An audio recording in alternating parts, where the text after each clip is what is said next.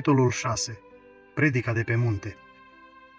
Partea 1 din Matei, capitolul 5, despre extraordinarul vieții creștine. Fericirile. Isus pe munte, mulțimea și ucenicii. Ce vede mulțimea? Pe Isus, împreună cu ucenicii care i s-au alăturat. Nu trecuse mult timp de când ei înșiși făcuseră parte din această mulțime. Fuseseră asemenea celorlalți Apoi a venit chemarea lui Isus, iar ei au lăsat totul și l-au urmat. Din acel moment, îi aparțin întru totul lui Isus. Acum merg cu el, trăiesc cu el, îl urmează oriunde îi duce. Cu ei s-a întâmplat ceva de care alții n-au avut parte. Mulțimea are deci în fața ochilor un fapt cât se poate de alarmant și de revoltător. Ce văd ucenicii?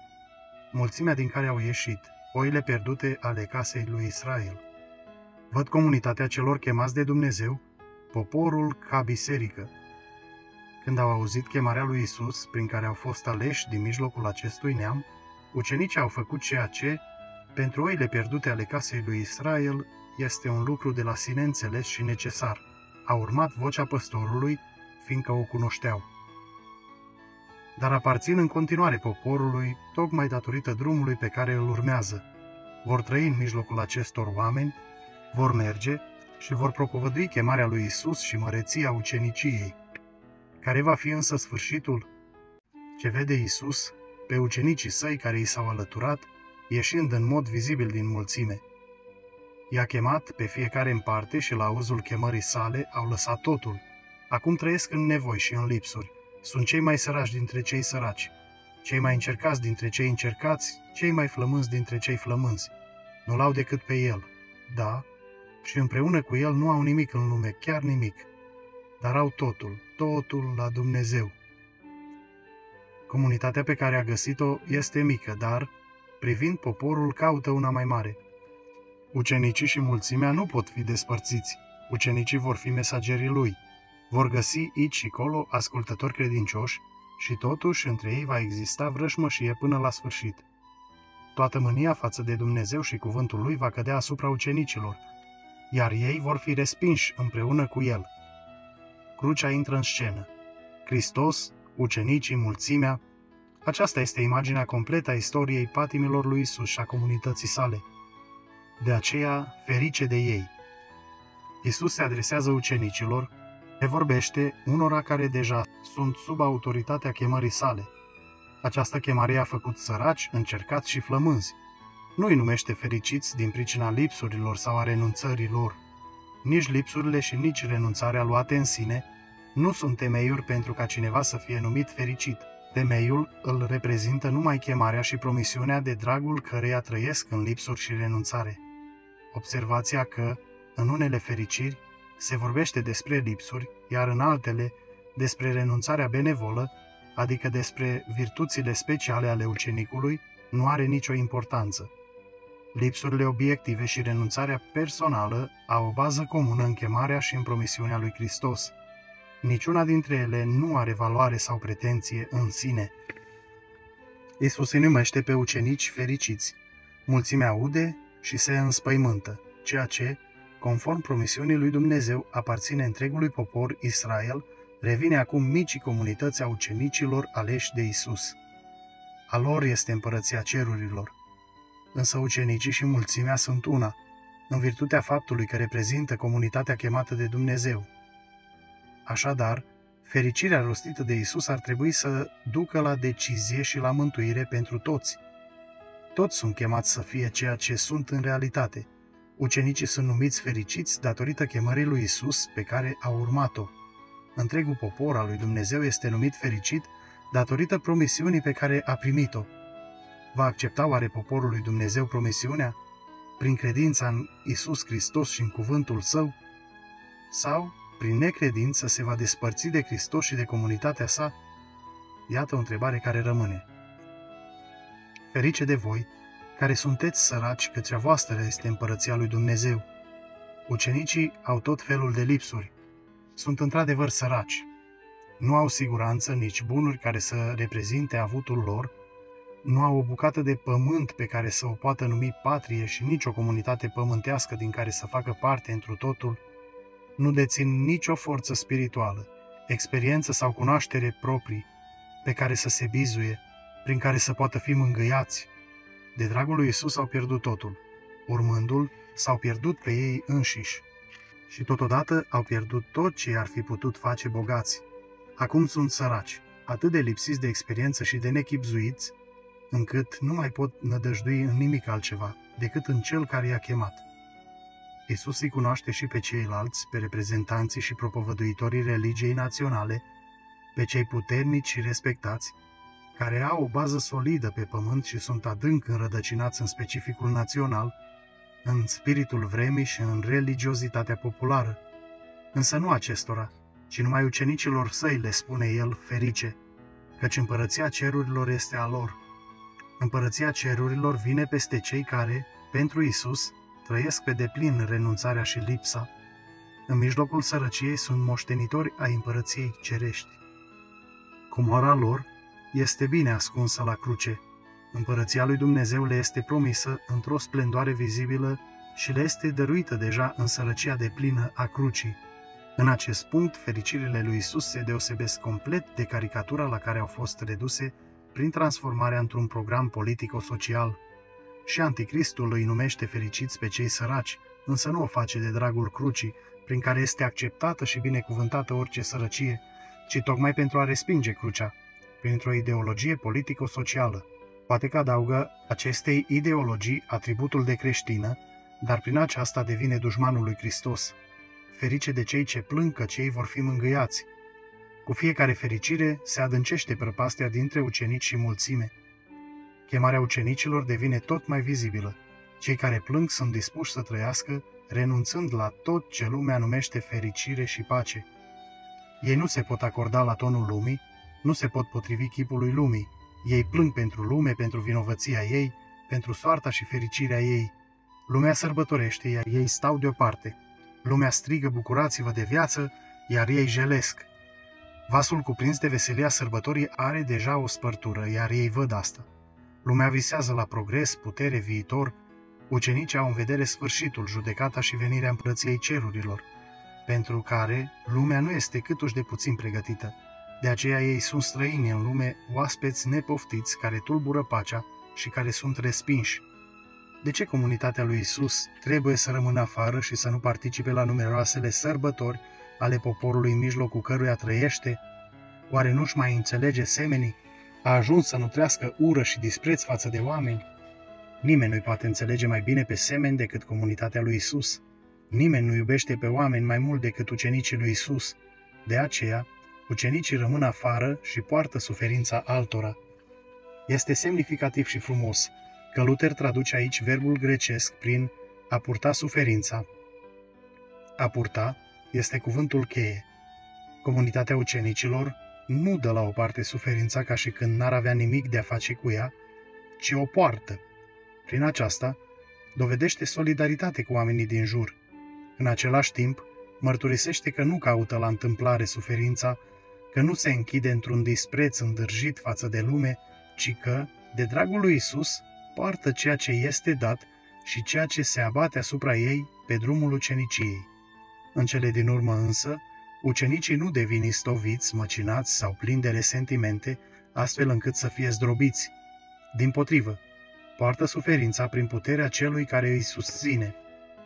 Ucenicii poartă suferința pusă peste ei numai prin puterea celui care a purtat toată suferința pe cruce. Ca purtători ai suferinței se află în părtășie cu cel răstignit. Ca străini, primesc puterea celui care a fost atât de străin în ochii lumii, încât lumea l-a răstignit. Aceasta este mângâierea ei. Mai bine spus, aceasta este mângâierea ei, mângâietorul ei. Comunitatea celor străini este mângâiată prin cruce, prin faptul că va fi îmbrâncită spre locul în care o așteaptă mângâietorul lui Israel. Acolo, lângă Domnul răstignit, își va găsi patria adevărată, acum și în veci de veci. Ferice de cei blânzi, că cei vor moșteni pământul. Nu există un sistem de legi propriu care să apere în lume comunitatea celor străini. De altfel, ea nici nu-l poate pretinde, fiindcă ei sunt cei blânzi care trăiesc renunțarea la orice drept propriu de dragul lui Isus Hristos. Când sunt ocărâți, nu răspund. Când sunt agresați, rabdă când sunt îmbrânciți, se dau la o parte. Nu recurg la procese pentru a-și câștiga drepturile, nu fac zarvă atunci când li se face o nedreptate. Nu revendică vreun drept propriu. Lasă în seama lui Dumnezeu dreptatea, după cum spune interpretarea bisericii timpurii, non cupidi vindicate, adică fără sete de răzbunare. Ceea ce este drept pentru Domnul lor este drept și pentru ei, numai aceasta. Prin orice cuvânt și orice gest devine evident că nu aparțin acestui pământ, cu o atitudine compătimitoare lumea spune, lăsați-le cerul, acolo e locul lor. Isus însă le spune că vor moșteni pământul. Acestor oameni lipsiți de drepturi și neputincioși le aparține pământul. Cei care îl stăpânesc prin violență și nedreptate îl vor pierde, iar aceia care aici au renunțat de plin la el, care au fost blânzi până la cruce, vor stăpâni noul pământ. Nu trebuie să ne gândim la dreptatea lui Dumnezeu, prin care va pedepsi lumea. Din potrivă, atunci când se coboară împărăția cerurilor, înfățișarea pământului se va înnoi și pământul va fi al bisericii lui Isus. Dumnezeu nu abandonează pământul. El l-a creat, l-a trimis pe Fiul Său pe pământ și a zidit comunitatea pe pământ. Astfel, începutul împărăției a fost deja marcat în vremea de acum. A fost lăsat un semn. Cei lipsiți de putere au deja aici un petic de pământ, au biserica, o comunitate a lor, bunurile lor, frați și surori, în mijlocul prigonirilor, care merg până la cruce. Însă și Golgota este un petic de pământ. De la Golgota, unde a murit cel mai blând om, se înnoiește pământul. Când va veni împărăția lui Dumnezeu, cei blânzi vor moșteni pământul. Ferice de cei flămânzi și însetați după dreptate, că cei vor fi săturați. Cei care îl urmează pe Isus nu trăiesc renunțând doar la propriul drept, ci renunțând chiar și la propria dreptate. Nu primesc nicio slavă din ceea ce fac sau jertfesc. Nu pot avea altă dreptate decât flămânzind și însetând după ea, indiferent dacă e vorba de propria dreptate sau de dreptatea lui Dumnezeu pe pământ. Au privirile ațintite în permanență spre dreptatea lui Dumnezeu din viitor, dar nu pot aduce la îndeplinire ei înșiși. Cei care îl urmează pe Isus flămânzesc și însetează pe drum. Tânjesc după iertarea tuturor păcatelor și după noirea de plină, după noirea pământului și după dreptatea desăvârșită a lui Dumnezeu. Dar blestemul lumii încă acoperă dreptatea lui Dumnezeu și păcatul lumii continuă să cadă asupra ei. Cel pe care ucenicii îl urmează trebuie să moară blestemat pe cruce. Ultimului strigăt este o dorință deznădăjduită după dreptate. Dumnezeul meu, Dumnezeul meu, de ce m-ai părăsit?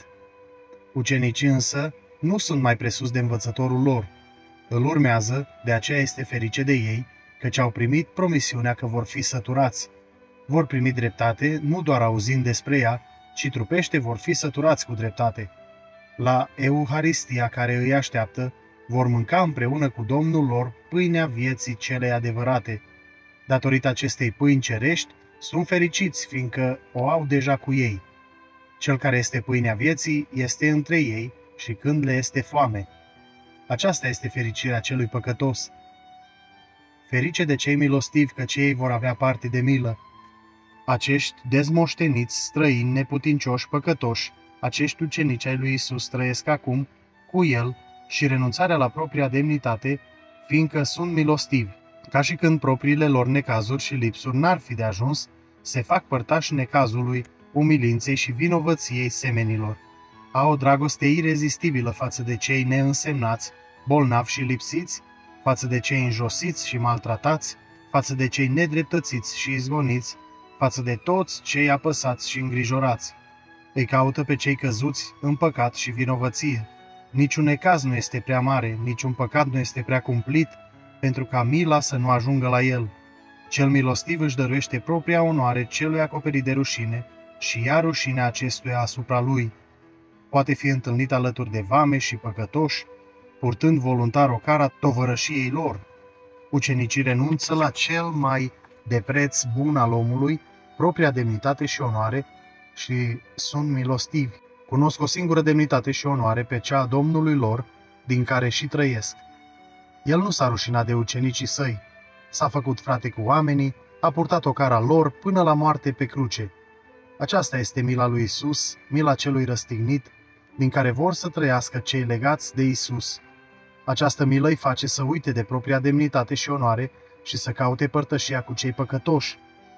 Chiar dacă aceasta aduce acum rușine asupra lor, sunt totuși fericiți, că cei vor avea parte de milă. Într-o zi Dumnezeu se va pleca asupra lor și le va lua păcatul și rușinea. Dumnezeu le va da onoarea sa și va lua dezonoarea de peste ei. Va fi onoarea lui Dumnezeu să poarte o cara păcătoșilor și să îi îmbrace cu onoarea lui. Ferice de cei milostivi, că cei îl au pe cel milostiv ca Domn. Ferice de cei cu inima curată, că cei îl vor vedea pe Dumnezeu. Cine are inima curată?